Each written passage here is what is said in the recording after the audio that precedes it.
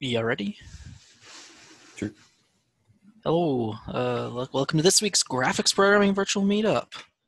We follow, we're following the Berlin Code of Conduct.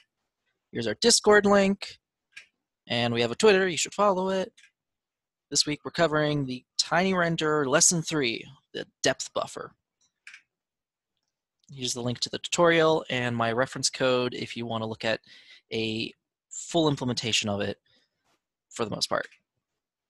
So in the last lesson, we had we left with the issue where we had overlapping triangles where things were in front of things that should have been behind.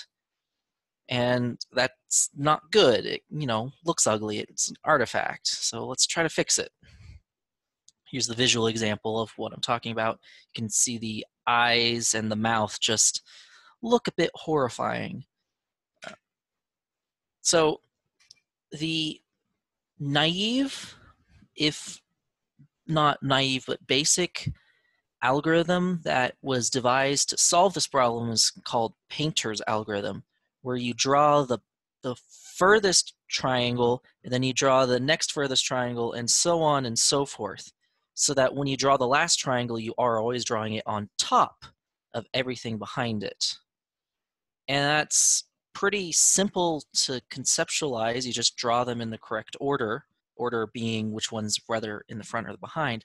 The problem is, is when you have tri- triangles, don't always have to be perfectly in front or behind. Sometimes they can intersect, and that means you don't have a front or back. You have to devise some sort of solution for that. Where uh, one way you could do it is you could cut the triangles up so that the portions in front and the portions behind are actually two separate pieces, and then you just render those in the correct order. Um, but it it's it's kind of a bad solution. It's in fact it's it's incredibly performance intensive because every time you move the camera, you have to calculate uh, where which order the triangle should be in. If you have hundreds of thousands of triangles, that's a lot of operations. Uh, subdividing triangles is also not cheap and so it's just it's it's not great. So the problem we have is we want to make sure things are ordered and the painter's algorithm orders things by a triangle but what if instead we shrunk down our area of focus and done it do it per pixel? So the idea is we keep track of how deep each pixel is in the scene and then we can easily know hey is this pixel in front or behind this other pixel and if it's behind it, we just throw it away. But if it's in front, we go, oh, okay, then we're going to draw that. And it removes the old pixel. So to help illustrate this, there's a couple of pictures uh, to, that can showcase what's happening. So this scene has what I was talking about earlier was the triangles overlapping each other. The green triangle intersects with the blue and the blue intersects with the red and the blue is in front of and behind the red one so but from a top-down viewpoint that's all we can see is this this viewpoint of the red to green and blue. If we drill down and only focus on a single line for it rather than the entire image we can pretend we have a 2d plane or a one-dimensional line rather than a 2d plane or a 3d scene. That makes our makes our problem a lot simpler to think about. If we take this scene that we have drawn a line through and use that as a intersection plane, we get what is the 2D side viewpoint. So here we can see there's the the green line, the blue line, and the red line. Those represent the three triangles.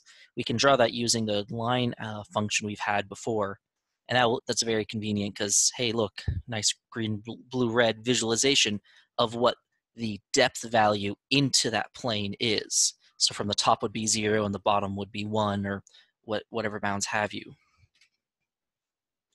So we can visualize this line strip if we draw each triangle using this rasterize function, but we're only going to have a 16 pixel wide view into the scene. And when I say 16 pixel, I mean it's one pixel stretched to 16 just to make it easier to make pictures out of. So each 16 by 16, or not 16 by 16, each each column is a single pixel blown up. And that's what this uh, vector y buffer is. And because we're looking at the scene downwards, we're going to be using a y buffer since that's the axis we're looking at. We're going to fill it with the minimum integer value, as in as far down as we can go, so that any value larger than the minimum integer value becomes uh, it is can be uh, overlaid on top of it. Uh, we're just going to fill. We're just going to draw the the three shapes using our rasterize function, which we looked at in the previous chapter. Actually, no, we didn't. That's right. I was confusing it with the triangle function because um, that was rasterizing triangles. So this is a very special case function it's a one-dimensional raster. It takes two. It's a one. It's it's a one-dimensional viewport on a 2D plane. So our P0 and P1 are the two ends of the line segment we're going to draw. Now, the output is a single one-dimensional image, but we're going to do the the output is a one-dimensional image, but we have to remember the depth value, and that's where we pass in the integer buffer. So for every pixel along the plane, we're going to keep track of the depth in the scene. Um, we're going to use a classic trick of switching which points are the greater than or, or the greater or less than, so that way we're always counting from less than to greater, since that just makes our math a bit easier in the for loop. We iterate through each point each pixel between these x value of p0 and p1. So if we have points 4 to, if we have, yeah, points at 4 and at, and at 12, we'll go 4, 5, 6, 7, 8, 9, 10, 11, 12. Um, then at each point, we need to calculate this t value. This t value represents the interpolation between the two points, uh, the two points. And we use this to determine the y value because we're moving along this line segment on the x-axis. So we need to uh, we need to figure out how far on the y-axis we are, and then that will be uh, we use this t value. Not we need to find the t to find out how far along the line segment we are because then we can use that to determine how far into the scene we are, and that is our y value here. Um, this is our depth into the scene. Then we check, hey, is this less than the, is our y value greater than the current y value in the scene? And since x is a positional coordinate, that means we can just index into the y buffer using that. And then if it is greater than, then we change the y buffer to that value and then set our pixel to the color. So this logic will only run when the new pixel being drawn is done closer to the camera. That was a whole lot of words. That didn't make much sense. Hopefully this picture makes it a little simpler. First we start with the, we draw the first triangle. And since there's nothing in the scene, it starts out as black. But when we draw the red triangle, we draw all the pixels along the red triangle because there's nothing else to block it. And if we look at the depth buffer, we go from this very dark to this light gray, and that's because it's it's actually if we go all the way back, uh, therefore we can see that the red line is increasing left to right as it goes into this into the scene.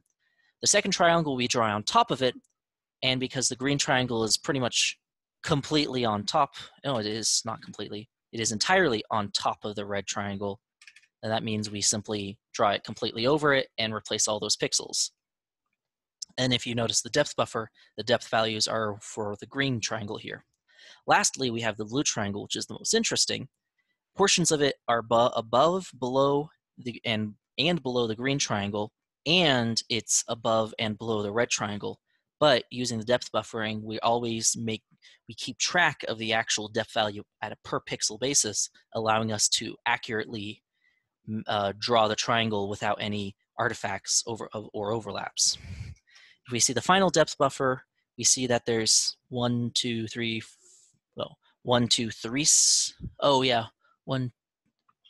is there really? Oh yeah, that's right. Um, there should be what there there's only what appears to be three different segments, and that's because the boundary between the blue and green triangle in the middle and the blue and red triangle um, uh, are per, um, right up next to each other. So there isn't a discontinuity between them. And then if we, I just took the image from the beginning to compare it, and we can see that the they're the same pattern of red, green, blue, green, blue, red, red, green, blue, green, blue, red along the middle, the middle line through all those triangles. So that's a 2D representation of what's going on, actually a 1D on a 2D plane.